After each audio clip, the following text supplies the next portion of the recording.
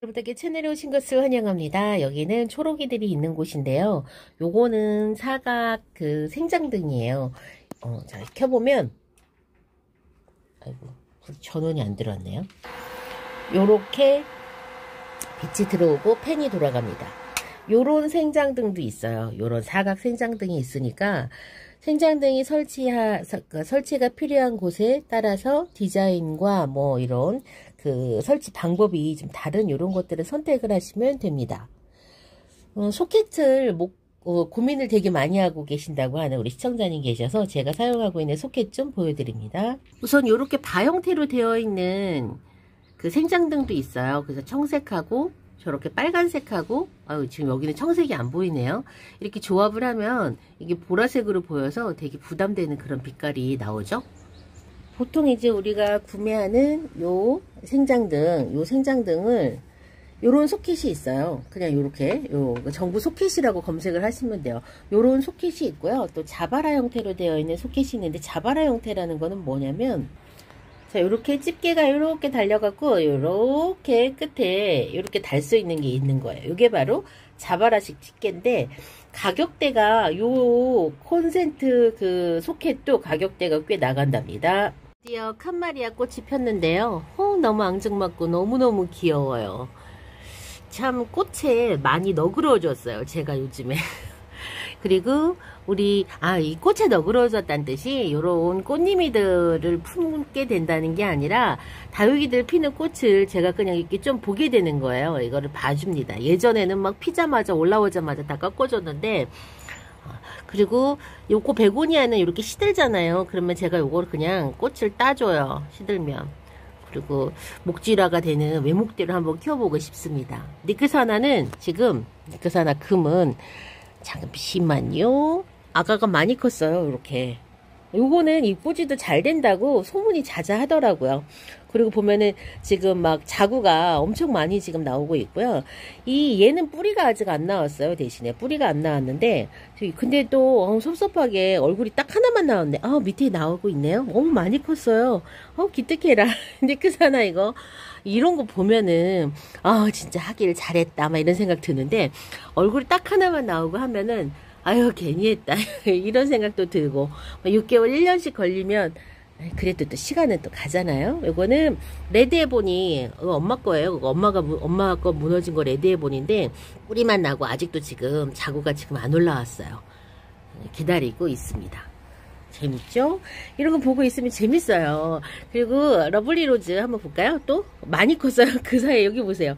그 사이에 저만큼 컸어요. 먼저 보여드렸을 때는 보일동 말동 보일동 말동 했었는데 지금은 어, 딱 보입니다. 어, 여기도 보이죠? 아유, 시간이 가면 저는 그래서 적심을 하고 싶으시든 입고지를 하고 싶으시든 분갈이를 하고 싶으시든 마음이 딱 아, 하고 싶다라고 이렇게 그 되면 빨리 하라고 그냥 말씀드려요. 시간은 어차피 그냥 갑니다. 시간은 그 사이에 내가 뭐 다른 그 다육이들 막 돌보면서 시간이 막 가기 때문에 저는 이왕 하고 싶으면 빨리 하세요. 또 하나는 지금 바위솔 이게 바위솔 중에서도요 유독 햇볕이 많이 필요한 바위솔이 있더라고요. 요 마무레아툼 바위솔이 그렇더라고요. 제가 며칠 전에 단지 사장님네를 가서 봤는데 다른 애들은 괜찮은데 유독 얘만 이렇게 막 뒤로 막 치마를 입고서는 뒤로 훌렁 넘어가 있더라고요. 그래서 아 너가 좀 특징적으로 그렇구나 라고 했는데 제가 마지막으로 보여드렸을 때는 여기에 진짜 보이지도 않게 있었는데 지금 막 자구가 여기저기 지금 목대에서 올라오고 있습니다. 아이고 신나라. 지저분해서 제가 안 보여드리려고 했는데 여러분 요게 파의 꽃이에요. 파의 꽃인데 이 크라슐라 속이 서로 다른 것 같아도 이렇게 비슷한 게 꽃을 보면 비슷한 게 있어요. 그래서 왜 에케베리아랑 그랍토 페탈lum하고 그 교배를 한 어, 그, 어, 그랍토베리아 같은 경우에는 꽃이 에케베리아 꽃이 비슷하게 나오는 경우들이 많아요. 제가 왜 자꾸 이런 얘기 하냐면 여러분 처음에는 관심 없을 수 있어요. 1년 미만은 1년 미만 차로 다육생활 하시는 분들 관심 없을 수 있는데 나중에는 그게 참 재밌어요. 그랍토베리아들이 피는 꽃하고요. 그랍토 페탈룸들이 피는 꽃하고 약간 다르거든요. 그래서 그걸 알게 되면 그게 참 재미있답니다. 그랍토 페탈룸으로 많이 알고 있는 게 용월이거든요. 근데 용월 꽃이 얘랑 진짜 비슷하게 생겼어요. 용월꽃이. 그런데 이제 목대가 이렇게 길게 나오는 그런 그 다육들 중에서 이 그랍토 페탈롬하고 그 다음에 에케베리아랑 교배를 하게 되면 꽃이 에케베리아를 닮은 꽃이 나오는 어, 그런 다육들이 있습니다. 성인데요. 보세요. 꽃 좀 보세요. 파하고 꽃이 진짜 비슷하죠. 이런 거 보면 여러분 정말 재밌어요.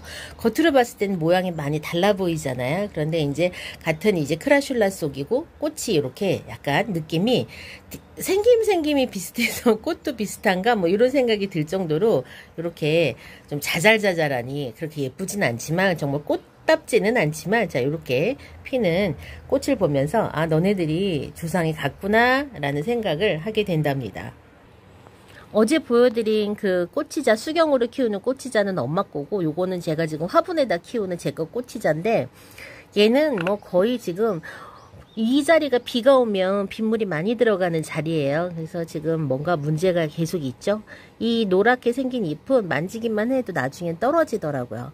아이고 지금 이래도 키우기 어렵고 저래도 키우기 어렵고 얘는 진짜 그 어리대 밖으로 내보내서 키우고 물도 자주 줘야 된다는데 지금 다육이도 그렇게 키우기 힘듭니다. 그래서 다시는 제가 꽃나무를 사지 않겠다.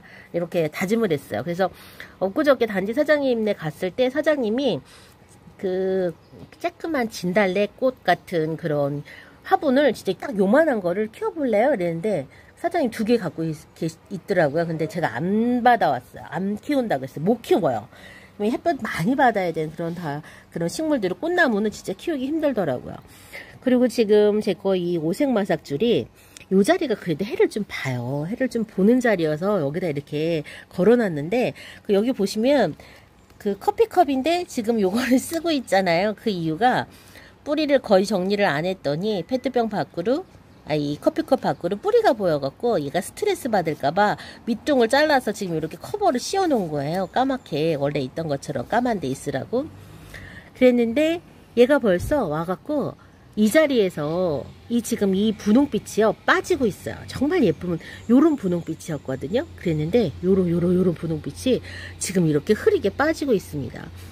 어, 이런 그 무늬가 들어간 꽃님이들이나 이런 관엽이들이 햇볕이 부족하면 초록색으로 변하는 이유는 광합성을 해야 되는데 이제 해가 부족하기 때문에 요런 광합성을 못하는 요런 잎들도 이제 초록이들을 올리면서 광합성에 매진해서 생명을 유지를 해가려고 하는 본능 때문에 그렇다고 해요. 뭐 식물한테 본능이라고 하면 웃기지만 어쨌건 그렇다고 합니다. 그래서 어 제가 아 그래 그러면은 다육이들 우리 금 키울 때는 다 반근을 해서 키우라고 하는데 관엽들은 다육이랑 다르게 어, 햇볕을 보통 그 식물보다 좀 더 많이 보여줘야지만 요 무늬를 유지할 수 있다라고 하면은 그러면 뭔가 좀 다육이들 금 키우는 거에선 그게 정말 다육이만 특별하게 다른 건가? 뭐 이런 생각을 하게 되더라고요. 에케 머큐리가 뒤늦게 또 꽃대가 올라오고 있습니다. 이 에케 머큐리를 보면은 느낌이 꽃돛담배랑 많이 닮았다 그런 생각을 하게 됩니다. 내 꽃돛담배를 또 보면서 너 흑계리하고 좀 닮았다 이렇게 생각했는데 조상이 조금 다르더라고요. 그래서 요 지금 에케머큐리 같은 경우에는 꽃돛담배를 좀 많이 닮은 그런 모습을 하고 있습니다. 요 녀석이 꽃돛담배인데요. 꽃돛담배도 어, 기본적으로 보랏빛을 하고 있어서 굉장히 예쁜 다육인데 지금 생장적 주변으로 햇볕을 못 받아서 이렇게 지금 초록빛이 올라옵니다. 보면은 꽃돛담배의 꽃대가 좀 두꺼운 편이에요. 그래서 그 꽃돛담배 두꺼운 그 꽃대를 올라오는 그 잎을 따서 이렇게 번식을 도전을 하면 여기 보면은 이렇게 잎꽂이가 된답니다. 그래서 꽃돛담배 지금 기다리고 있습니다. 꽃돛담배 잎은 꽃잎에 그러니까 꽃대에 붙어있는 잎이 약간 좀 두꺼운 편이에요. 근데 요 녀석이 왜 이렇게 못생겨졌죠? 원래 되게 예뻤는데 지금 보니까 옆에서 꽃대가 꽃대가 다시 올라오는 것인지 아니면은 지금 얼굴을 분질을 하는 것인지 느낌에 왠지 느낌에 왠지 꽃대가 또 올라오는 것 같은 그런 느낌적인 느낌이 듭니다. 여기 공간에다가 해를 좀 받게 해 놓겠습니다. 온슬로우도 여기다 지금 애기를 하나 달고 있어요. 이 온슬로우 같은 경우에는 지금 키운 지 한 3년 정도, 횟수로 3년 정도 됐는데 이제서야 애기 하나를 달아주고 있습니다. TP는 TP는 키우면 한 조금만 지나면 곰방 애기는 하나는 달아줘요. TP는. 근데 온슬로우는 지금 저는 지금 요게 애기 지금 요번에 처음 달아주는 겁니다. 환경이 약간 좀 박하니까 제가 워낙에 키우는 환경이 약간 좀 박하다 보니까 이렇게 자구를 내주는 게 약간 좀 인색합니다. 혼자도 먹고 살기 힘들기 때문에 거기까지 새끼까지 벌어먹여 살릴 수가 없다 보니까 제 다육이들은 자구를 내주는 일이 되게 인색해요. 이제는 꽃이 져서 다시 안 올라와야 될 때에 지금 핑크프리티가 꽃대가 또 올라오고 있습니다. 뭔가 계절 감각을 잊어버린 것인지 꽃대가 지금 생뚱맞게 또 올라오고 있네요. 제거 방울복랑 금은 음 약간 모양이 약간 변이가 되면서 예쁜 그런 모습으로 올라오는 게 아니라 약간 안 예쁜 모습으로 이렇게 올라오면서 힘없이 떨어졌다가 다시 올라오고를 지금 반복하고 있어요. 근데 방울복랑이 녹이 금이 많이 들어가면 그런다고 하더라고요. 그렇다고 뭐 죽진 않지만 이렇게 막 엄청 막 키가 크고 그렇지 않대요. 그래서 이렇게 녹이 들어가 있는 부분들이 많아야 방울복랑은 건강하게 키울 수 있다고 하더라고요. 요걸 보면서 제가 그런 걸 많이 느꼈어요. 햇볕을 좀 쨍쨍 쬐게 해주면 얘가 달라질까 지금 고민을 좀 하고 있습니다. 제 알부카는 잠을 못 자요 지금. 어, 아직까지 꽃이 이렇게 하나가 피어 있고요. 잎이 이렇게 아직도 쌩쌩해요. 여름 되면 다 떨어뜨린다고 하니까 어, 떻게 변하는지 나중에 또 보여드릴게요. 음, 요, 그 베라긴즈 금은 단지 사장님네 베라긴즈 금인데 요번에 가서 보니까 단지 사장님네는 햇볕을 많이 보여주니까 얘가 색감이 정말 예쁘더라고요. 저는 금을 키우는 방법에 관해서 많이 좀 회의적이에요. 정말 반근을 해서 키워야 되는 게 맞나? 라는 생각에 근데 정말 그 화상을 잘 입는 거지? 화상을 잘 입는 거지? 어 요게 화상이 약해서 그런 거지. 그 햇볕이 정말 반근을 얘가 그 녹색이 별로 없어서 햇볕이 반만 필요한 건가? 뭐 그런 생각이 자꾸 요즘에 들면서 자꾸 의심을 하게 돼요. 그래서 사실은 이 베라긴즈 금도 맨 처음에는 거리대에서 키웠거든요. 거리대에서 키웠는데 비를 한 번 맞고 그 다음에 놀래갖고 제가 베, 베란다 안에서 키우지만 딱히 성장도 못하고 그냥 이 모습을 계속 유지하면서 아주 조금씩 소멸 쇠퇴해가는 그런 느낌을 받거든요. 이렇게 키워서 결국에는 어, 화분을 그 소멸시키느니 그냥 베란다에다 거리대에다가 햇볕을 좀 받게 키우는 게 낫지 않을까? 제가 살구미인금을 그런 것처럼 그런 생각을 자꾸 하게 돼요. 그렇지만 정말로 금이요. 화상에 약한 금들도 분명히 있습니다. 어, 요 웨스트 레인보우는 진짜로 그 화상에 약하거든요. 얘는 진짜 햇볕 좀만 내놓으면 이렇게 홀랑 타요. 이렇게 지금 타갖고 이렇게 안 이뻐진 거예요. 얘는 매년 반복해요. 봄에 너무 이제 겨울 동안 예뻐졌다가 예뻐졌다가 베란다 거리대에 나갔다가 타서 다시 미워져서 들어왔다가 여름에 엄청 옷 자라서 진짜 안 예뻐졌다가 가을 되고 겨울부터 봄까지 다시 좀 예뻐졌다가를 계속 반복하고 있습니다. 진짜 얘는 화상에 약하거든요. 여기 다 화상 자국입니다. 그래서 요 녀석들은 거리대에 내보내려고 하면 차광을 조금 해준 다음에 케어를 해야지만 됩니다. 제 캄파놀라예요. 이걸 보면서 그래 너는 넌 안 돼 라는 생각을 제가 한동안 했었어요. 그러다가 생각을 좀 고쳐 먹었답니다. 아우 안 되면 좀 어때 그래도 하고 싶다 그래도 키워보고 싶고 그래도 한번 보고 싶다 라 해보자 라는 생각을 하게 됐어요. 그리고 또 치자도 보면 아까 봤던 것처럼 계속 막 누런 잎을 막 내면서 제가 그것 때문에 좀 좌절감을 느꼈었는데 지금은 생각을 좀 바꾸기로 했어요. 좀 못해도 포기하지 말고 한번 해보자 이런 생각을 좀 하게 됐습니다. 지금도 피고 지고 해야 되는데 꽃몽우리 자체가 꽃몽우리 자체가 피지도 못하고 요렇게 요렇게 죽어요. 그래서 아 얘를 어떻게 해야 되나 지금 고민은 하고 있지만 제가 딱히 아직까지는 해결책을 모르겠어요. 햇볕을 뭐 잘 받아 잘 받게 둬야 된다 이렇게 얘기를 하는데 사실 이제는 베란다 안으로 해가 잘 들어오는 자리가 없어요. 그러려고 하면 차광을 좀 한 다음에 거리대로 나가야 되는데 얘를 거리대에 내놨다가는 삶아질 것 같거든요 또 그래서 지금 고민하고 있습니다. 얘를 어떻게 해야 되지? 그냥 이렇게 지켜봐야 되나? 어떻게든 한번 다시 살려보려고 좀 애를 쓸, 써보겠습니다. 뭐 제가 할 수 있는 능력 한도 내에서 하는 거고요. 그래도 안 되면 어쩔 수 없겠죠? 이 호전무 금도 키운 지가 지금 1년이 넘었는데 처음에는 굉장히 예뻤었어요. 그런데 어, 이 그 금이기 때문에 들어오는 핑크빛이 굉장히 예뻤었는데 요거 같은 경우에도 만손초 종류처럼 잎이 지금 이렇게 어, 사이사이가 이렇게 무늬가 있죠. 저 사이에 원래는 아가들을 달아줘야 되거든요. 그런데 지금 제가 좀 박하게 키우다 보니까 얘네들은 조금만 소홀하면 진짜 엄청나게 못 자라서 포기하게 되는 식물 중에 하나예요. 그러면은 이제 좀 중간중간 적심을 해갖고 관리를 해주면서 키우면 되는데 그렇게 못하고 그냥 아예 포기하는 포기를 많이 하는 식물 중에 하나가 요런 칼랑코에 속에 요런 뭐 만손초라든가 이제 요런 요런 호전무 금이라든가 요런 애들을 많이 포기하시더라고요. 제가 그런 걸 많이 봐서 내가 포기하지 않고 키울 수 있는 외모를 유지해야지라고 했더니만 이렇게 앙상하게 뼈다귀만 남아서 지금 안 이뻐졌어요. 여기 보면 지금 아가가 지금 이렇게 크고 있죠. 그래서 요걸 볼 때마다 얘를 어떻게 해야지 예전처럼 그 예쁜 얼굴을 다시 만들 수 있지 고민하고 있어요.